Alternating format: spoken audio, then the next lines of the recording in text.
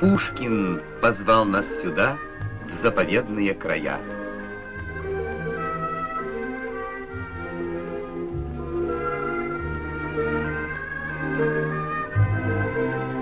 Дали неоглядные, холмы и перелески, И задумчивая сороть, и первозданная тишина. Приду под липовые своды, На скат Тригорского холма, Поклонник дружеской свободы, Веселье, грации и ума.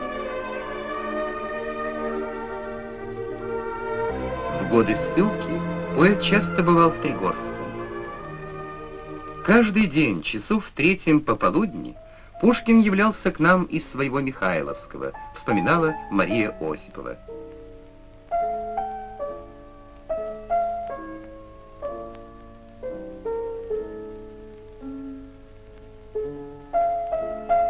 Старой усадьбе звучали стихи Пушкина и музыка Глинки, Моцарта, Бетховена.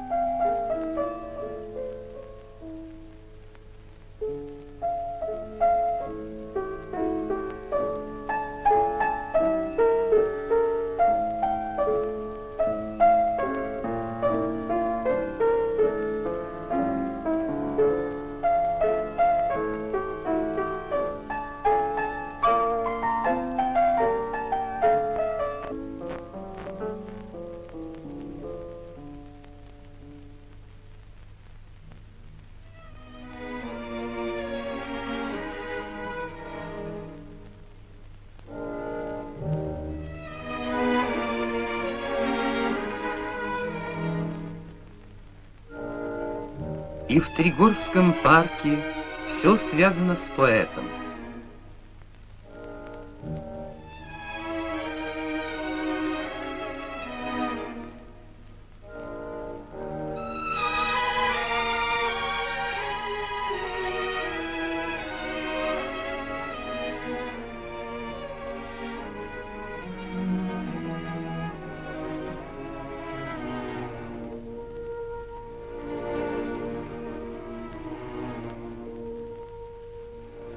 И трехсотлетний дуб.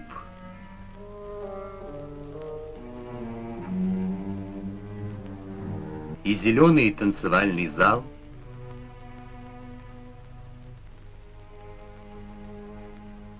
И эта скамья, где проповедовал Евгений, И сквозь слез, не видя ничего, Едва дыша, без возражений, Татьяна слушала его